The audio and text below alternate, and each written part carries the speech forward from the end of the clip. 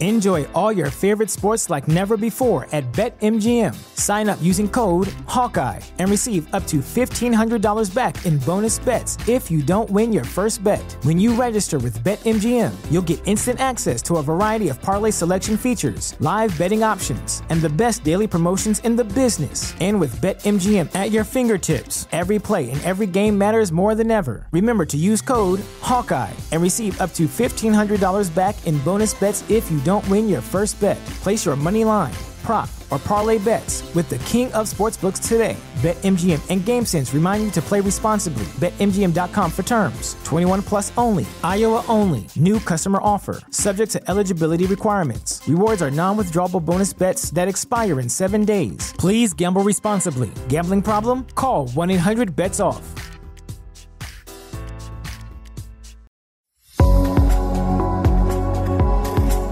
The Tea Biz podcast delivers tea news that you need to know.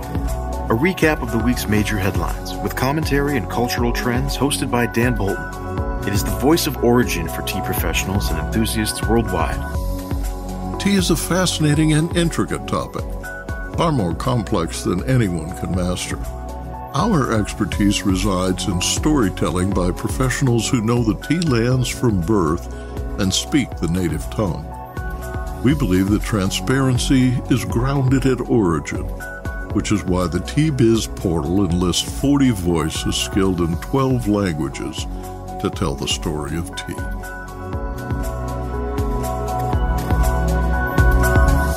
Hello, everyone. Here are this week's headlines.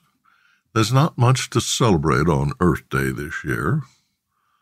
A weak IPO signals bubble tea trouble and tea and tea based beverage market projections show strong growth. Plus, a tea value chain upgrade. The London Tea Auction in 1679 was a version 1.0 marvel at connecting buyers and sellers. Price discovery in the world's biggest tea market was competitive and transparent. Buyers bid weekly on teas from China, India, Sri Lanka, and East Africa. The auction and banking sector enabled brokers and foreign agents to secure a shipload or a single chest of exotic tea. Certified warehouses provided efficient storage, and logistics firms organized delivery to local retailers, blenders, and packers. It was a system that worked for 345 years, and at its peak, the world's tea auctions captured 80% of the international tea trade by volume. Joining us today is Sam Lambert, co founder and chief operations officer of zenGate Global, a technology company whose Palmyra platform upgrades tea transactions with seamless blockchain traceability for all stakeholders, increasing trust, improving cross border payment solutions and conveniently providing access to financing. More in a minute, but first, this important message. What makes a perfect cup of Ceylon tea? The perfect cup is from the tea businesses that ensure the protection of all the children living within their tea estates. We salute Kelani Valley, Talawakelle, Bogawantalawa, Horana, and Elliptia Tea Estates. Support Save the Children Sri Lanka. Tea planters intuitively sift the soil, sniff the wind, and scan the sky for clouds. Every day is Earth Day on the farm. The rest of us need a reminder of the complex tapestry of forest and farmscapes. This week, a sense of urgency and concern marked Earth Day 2024 celebrations as global temperatures surged to an unprecedented average of 1.58 degrees higher than the pre industrial average. March temperatures averaged 14.1 degrees Celsius globally, and April's heat wave will likely extend a 10 month streak, with each month being the hottest of its kind. This alarming trend, with 19,000 weather stations already reporting record highs since January, underscores the pressing need for immediate action.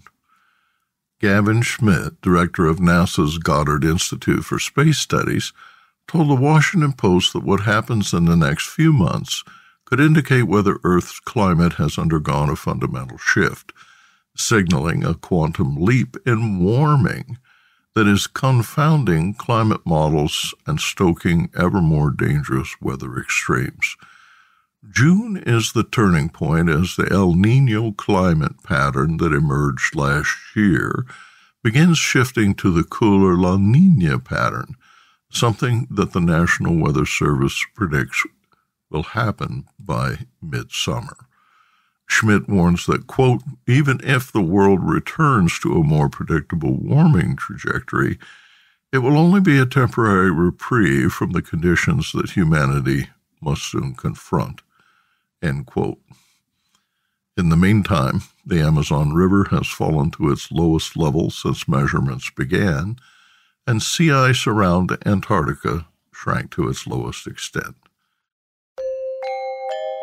Business Insight Amid the gloomy assessment of the changing climate, Sri Lanka's Bogawantalawa tea estate stands apart as a champion of climate positive tea.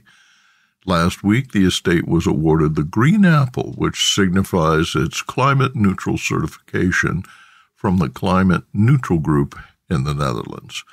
The estate has earned an impressive list of certifications, including carbon neutral, rainforest, fair trade, 100% renewable energy, and net zero energy certification, a model of sustainable business. Bogawantalawa offers the tea industry a model to follow and a reason to celebrate progress on Earth Day next year.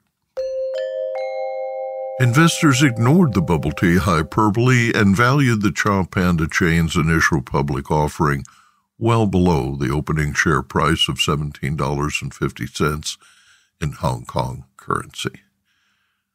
First day shares on Tuesday sold for as little as $10.80 Hong Kong, which is about $1.38 US, closing at Hong Kong 1280 or $1.63, nearly 27% below the asking price. It was the worst first day performance of any initial public offering since 2022. Although the plunge was disappointing, the company raised more than 330 million, making it Hong Kong's largest market debut of 2024. Sichuan Baicha Baidao, which operates Cha Panda, is the third largest of China's bubble tea chains with 8,000 outlets. The company launched in 2008 when its founders opened a tiny store near a school in Chengdu. In 2018, growth accelerated to more than 8,000 franchise locations. In January, the company opened its first overseas store in Seoul, South Korea, and is expanding into coffee shops. Sales grew by 56% to 5.7 billion renminbi during the past three years, equal to about 787 million US dollars. Analysts noted several bubble tea makers are pursuing IPOs in the slumping Hong Kong stock market. In January, market leading Mixue Group with 36,000 outlets and Guming Holdings with 9,000 outlets applied for IPOs. Growing competition threatens the weaker players. Publicly traded shares of Nayuki, an 1800 store competitor and the first chain to go public in 2021 has declined by 88%. Strategist Kenny Ng at Everbright Securities International told Bloomberg News, quote, the market is not giving this sector as lofty valuations as before. There has been an uneven revival of consumption in mainland China, so the profitability of consumer businesses remains uncertain. Business Insight IPO proceeds have slumped to the lowest levels in 20 years in Hong Kong, and the Hong Kong benchmark Hang Seng Index lost 14% of its value last year. China's fresh tea market is valued at 150 billion renminbi. Transparency Market Research forecasts a 5.9% compound annual growth rate for tea and tea based beverages globally through 2032, a projection that underscores this market segment's robust potential. TMR's Tea Market Report valued the global industry at 20.2 billion in 2023, increasing to 33.9 billion by the end of 2032.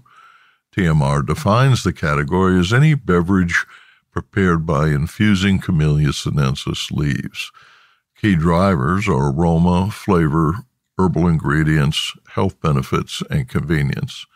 Green tea continues to be popular globally in the U.S., imports of green tea increased from 3% in 1995 to 17% in 2010. Matcha is currently the fastest growing green tea segment. Ready to drink tea is the most popular with 18 to 34 year olds. Quote, iced tea is gaining traction in the industry, end quote, writes TMR. Loose tea powder accounts for approximately half the global market share. TMR writes that there is an endless supply of inventive tea based beverage options. Six are trending. These include matcha latte, chai, boba bubble tea, Thai iced tea, black iced tea without artificial ingredients, colors, or preservatives. Tea is also popular as an ingredient in cocktails and mocktails. Researchers cite that a growing awareness of health benefits globally is driving sales. These four benefits include first, antioxidant properties. Flavonoids and catechins, which are natural antioxidants, counteract free radical damage. This is particularly beneficial in preventing chronic diseases such as heart disease, cancer, and diabetes, all of which are caused by oxidative damage to cell Antioxidants in these beverages serve as a protective shield for our cells. Number two, heart health effects. Many studies have found that tea consumption may play an essential role in improving the heart health of individuals. In several studies, green tea consumption has been associated with lower LDL cholesterol levels and reduced vulnerability to cardiovascular disease and stroke. 3. Weight loss benefits. Studies have been conducted on the potential benefits of tea for weight loss, specifically green tea. Combining green tea catechins with a healthy diet and exercise schedule can help increase fat oxidation and burn more calories. And four, mental health and cognitive benefits. Tea consumption may also benefit physical health, mental health, and cognitive function. The caffeine and L-theanine in tea enhances alertness, focus, and mood, and helps reduce stress, anxiety, and the symptoms linked to stress. According to a study published by the National Institutes of Health in September 2022, those who drank at least two cups of tea daily had a 9 to 13 percent lower risk of death than non tea drinkers. And now, a word from our sponsor. Hi, I'm Nish. I grew up in an organic tea farm and I founded Nepal Tea Collective in 2016. Tea is not just a beverage for me, but a catalyst for social change, sustainably empowering hardworking artisans like my parents for the past 30 years. I'm on a mission to make the whole world aware of the goodness of Nepali teas and the good that comes from supporting growers in this remarkable land. If you haven't tasted Nepali teas yet, you're missing out. Our award winning teas are making headlines. Find out why. Visit Nepal Tea Collective's website to get a free sample of this extraordinary taste of the Himalayas. That's nepalteacollective.com. Or just send me an email at nish, N I S H, at nepalteacollective.com. Cheers.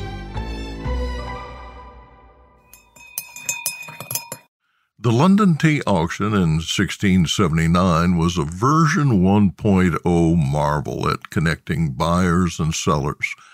Price discovery in the world's biggest tea market was competitive and transparent.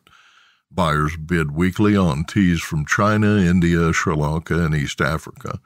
The auction and banking sector enabled brokers and foreign agents to secure a shipload or a single chest of exotic tea. Certified warehouses provided efficient storage, and logistics firms organized delivery to local retailers, blenders, and packers.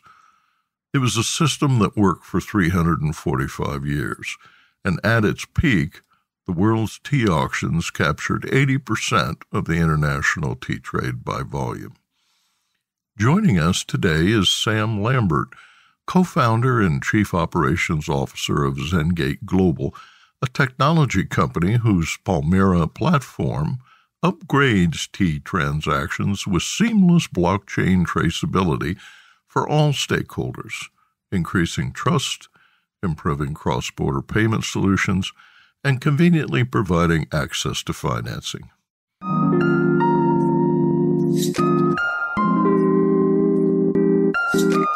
Sam Lambert trained as an economist at the Australian National University and worked as an economist for the Australian government before joining global consulting company Oliver Wyman.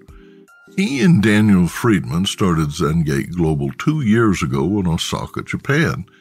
The firm employs 20 in multiple offices, including Sri Lanka, where it launched a pilot program with Sri Lanka tea producers. The Palmyra platform leverages decentralized ledger technologies from provenance and digital identities with verifiable credentials. Lambert explains that commodity markets, including coffee, rice, and grains, are rapidly digitizing and continue to evolve. He says the tea industry is experiencing a similar digital transformation, and the Palmyra platform provides an opportunity for, quote, underserved commodity producers to access new markets and leapfrog into the future.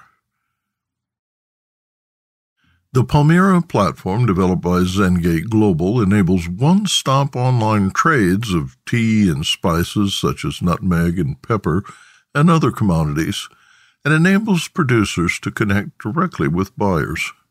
Welcome to the program, Sam. Thank you, Dan. Thanks for having me. So tell us a little bit about how the Palmyra platform works. Sure. So the Palmyra platform, it's a commodity trading platform and it's effectively a one-stop shop, which allows producers of different sizes to be able to onboard, list their products and directly access global buyers. And the same was true as well on the, the buyer side as well. It provides one place where buyers from all around the world can directly source products and, and ensure that value flows directly to the producers themselves. And one of the things we noticed was a huge gap in trust um, across these global transactions. And we found ourselves in the business of trying to find ways to build and bridge the trust gaps that that were there. And one of the things that we worked on was around making things such as payments, cross-border payments super easy, making escrow payments available so that you can reduce counterparty risk and making sure that the logistics and the customs and the certification processes of that deal was also very transparent as well. We're working quite closely with the tea producers um, out of several markets, as well as other commodities as well, such as spices and honey. Will you describe for listeners the platform's relevance to the tea community globally, both in terms of smallholders and larger multinational companies? I think the biggest impact is actually for specialty um, and artisanal producers and premium grade producers who don't have a formal way to to sell their products. And one of the things that really fascinated me when I came and started learning about the tea sector is was my understanding and my research around the way tea is sold. And you have things such as the Sri Lankan, um, you know, the Colombo tea auction, several other auctions and markets where tea gets sold in bulk. And it's a great system that's been around for a while. But what became clear to me is that for certain types of products that sat potentially on the edge or the periphery of, of what was able to be conducted through the auction were left behind. So a key focus of ours was not so much how do we completely disrupt and change the way the, the tea auctions worked. It was no, go ahead. Um, you know, that system's been around for a while. There's a lot of process and people that are dedicated and investment that goes into maintaining and improving that process. There's actually quite a big gap of unaddressed producers who are creating really high quality teas that needed a way that was just as good or if not better than the way that a tea auction worked. So our focus became focusing on those types of customers and creating the financial infrastructure and the logistical infrastructure and building the bridge between um, them and buyers from around the world. it, it really depends on the size of the business. The technology is scalable. You could be a smallholder producing, you know, 100 kilos of, of tea a month to someone that's producing, you know, 20,000 kilos of, uh, of tea a day. Um, so it's, it, it is able to accommodate a wide range of producers and, and different classes of buyers, depending on how much they want to order. Um, but really, the, the core of it was where were the unaddressed markets and what what solutions did they need to be able to get access to to be able to compete at that level. Classic outcry auctions are limiting, elitist, and outdated. High volume tea auction centers are now digitized. Smaller producers are drawn to web auctions that attract bidders near and far. Most specialized platforms are generally low volume, however. Palmyra offers high volume commodity tea, cinnamon, pepper, nutmeg, along with specialty products like polyfloral $5 a kilo dark amber Zambian forest honey and $9 per kilo Sri Lanka cinnamon powder. It offers an Amba Uva oolong that sells for $150 per kilo or Pitu bamboo green tea for $145 per kilo it, it's really helpful sometimes to actually take a step back, not just looking at tea itself. And that may seem counterintuitive if you've been working in the tea or even coffee space, um, which I, I, imagine some of your audience work in uh, for decades. But really, what needs to be done, which is the approach we took, is what what actually happens in other commodity markets, and you have to ask yourself the question: what what's the benchmark in terms of where things could be? And when you look at precious metals, different types of metal markets or wheats, grains. Coffee is also actually a great example to actually do research in. You find that most of these markets don't have an auction system. There's no outcry system. And, and you actually realize very quickly that in terms of the scale of how good a market could look like, the auction outcry system is on the bottom end of where it starts. And when you look at the more mature markets, you find that there's a there's a risk market involved where people can speculate and trade. They can manage risks around prices going up and down through the use of financial instruments like futures and forwards. We see that with corn, oil, gold, silver, wheat. The big commodities that you can sort of think of there's a financing element that's available to them, not not in a closed system, but access into a global capital market where you have mm. You have billions and trillions of dollars of trade financing flowing into these commodities, making it easier so that producers can grow quicker, traders can speculate, buyers can grow quicker. So when you look at these systems, you know, when we touch on certifications, for example, they have a full system around that. They have a full system around warehouse receipts and the ability to, to use that as collateral. So there's actually a huge opportunity in terms of some markets that we've looked into that may seem like they run really well, but when you actually look at it with a different lens, from the lens of what what are the biggest and most mature markets doing, they actually do things very differently. And in some cases, you'll never get to that end of what what is possible just because the way some of these markets work. And one of our advisors actually was the former uh, chief of commodities of the United Nations. He's set up commodity exchanges from scratch in countries such as, in, as India, Indonesia, the Indian Multi Commodities Exchange, when he was there, was the second biggest commodities exchange in the world, and he was able to see um, some of the the impacts that that he was able to have uh, through through the through the exchange. So. Our, our goal was never to outcompete an existing system. Our goal was always to expand the bandwidth of what people were already doing today and fill the gaps as well.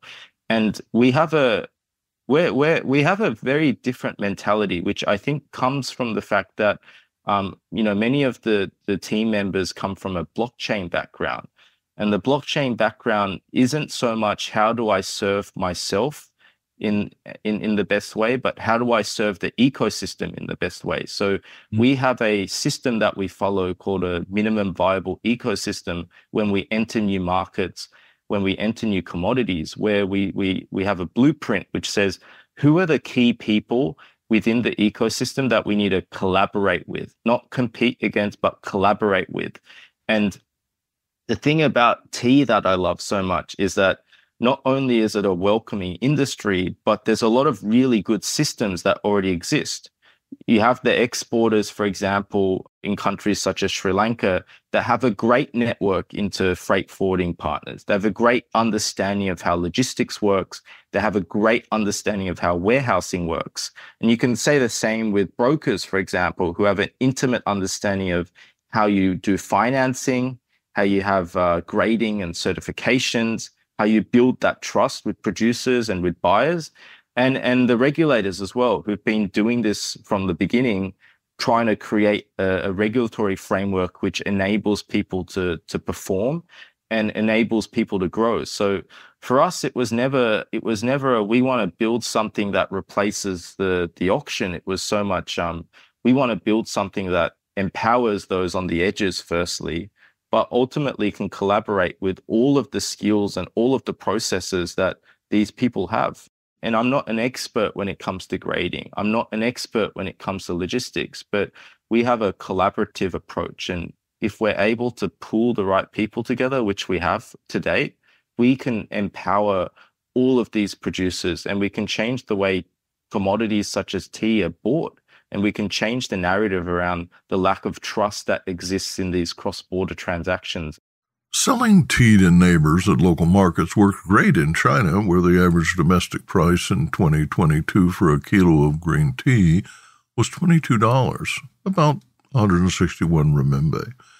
Export prices, however, averaged only $1.59 per kilo for Chinese green tea.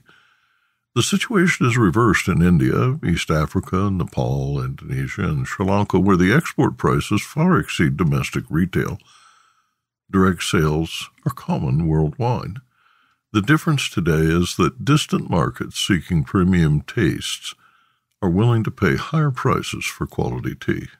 Just to touch on the bit around um, pricing and price discovery, I think you you nailed that on the head. And it's not so much that there isn't enough people doing these direct sales because there's a lot of people doing direct sales and there's a lot of people doing direct sales either by word of mouth or email in a somewhat archaic system which doesn't happen anywhere in other commodities. That can definitely be improved upon. But when you have a platform such as palmyra you you get access to really important data and you have a better visibility around teas being sold in all sorts of different types of markets. And you can start to build a map of understanding like which teas get sold into which regions, how are they priced? And instead of just being a, you know, a standalone producer making high quality teas, you empower them with price information. You give them information around these are the types of teas that sell you know, into these markets at these prices. And they get a much better feedback system in terms of how should they price their teas, what are other companies doing around marketing, storytelling, and and which is a bit that you just mentioned, Dan. And the thing that that shocked me, which I was saying to you earlier, was that all of these producers have such depth in terms of their story, the purpose of what they're doing, and how they're doing it as well. And often a lot of this doesn't actually come through. It's not so much that consumers are trying to source tea directly from a producer. A lot of these producers are doing B2B. They're selling to other businesses such as you know leading online stores or it might be a brick and mortar store who then have their own customer base and if you're unable to actually translate the story if you're unable to be able to share that story so that after that b2b to c the customer understands what the story is, then we're doing a disservice. And the producer gets a disservice done to them as well because the tea at the end of the day doesn't get sold at the price it probably should be. So being able to succinctly tell a story around the producer, uh, for example, it could be um, uh, Holiska who runs uh, uh, Siddha Devi Tea in Nepal. Like uh, I'm sure you've heard of her story before and, and her story around um, empowering women and, and training uh, these world class female tea makers who used to be victims of domestic violence or different sort of social outcomes they had had previously in, in the past. And, and to be able to share a story like that is incredible because the end consumer cares about it so much. So for yeah. us, that was one thing, but being able to do it through data was another bit as well. And we had spent a lot of time building out our traceability protocol, which not only tracks information around provenance, but allows you to embed certification and credentials and, and, and different data points that ultimately can be shared. And because this stuff sits on, on the blockchain, it's not so much we have to do a download on our private database and send you the information. It's already there. The, the end buyer who then sells to the end consumer takes that data and says, cool, thank you. I'm going to append, add my bits to it.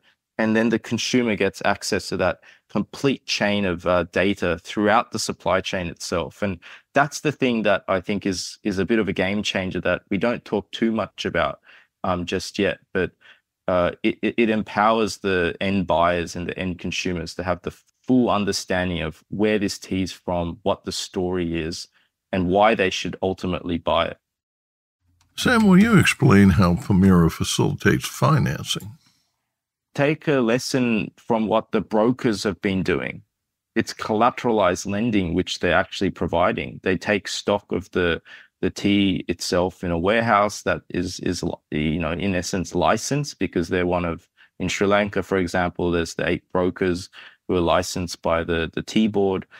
Like there's so many opportunities that could be done there, and making sure capital flows into the right places. And and microloans exactly like you said, can have an enormous impact if done right. And if done across a big base, there's a lot of capital that can flow into this space. So that was something that's important to us long term and, and in the medium term that we collect the right data so that we can prove this stuff to, to those that are willing to lend.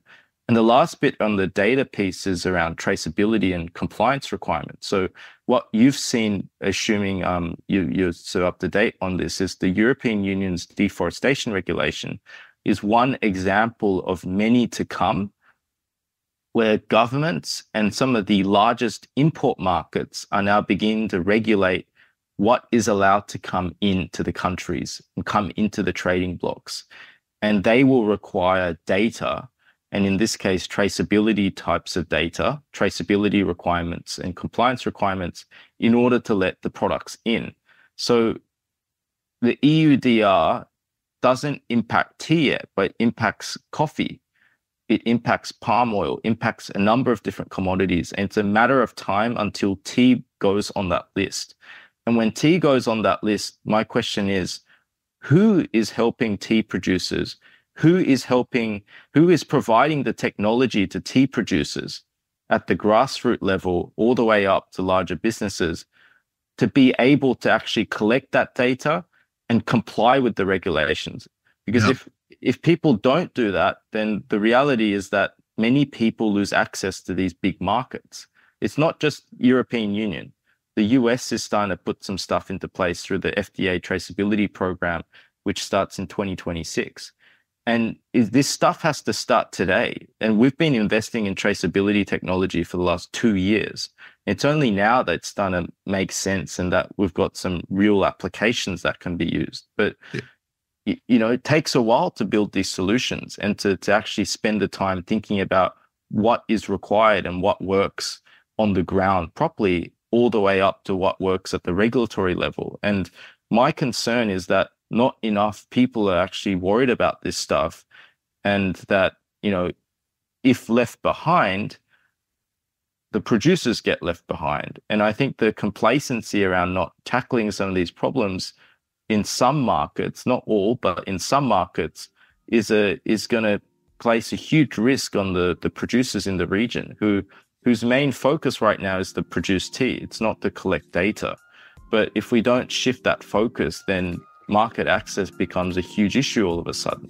So that is what defines our sort of data strategy and what we believe is um, what's the most crucial in terms of what we capture in the system and how we can translate that back to the people using it.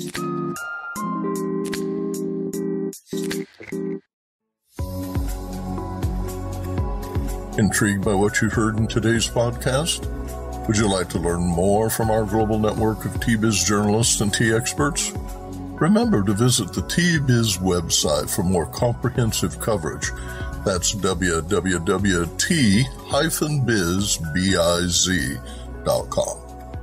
Thanks for listening.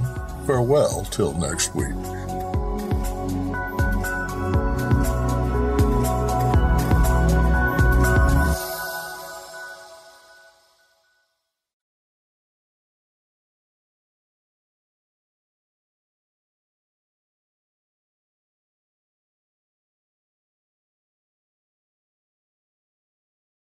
Produced by Adavita Studios. Connect your voice to the world.